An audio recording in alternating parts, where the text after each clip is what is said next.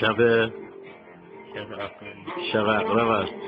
یک ساعت دیگه سال تحویل میشه و یه اقرب به سال جدید ایرانی میره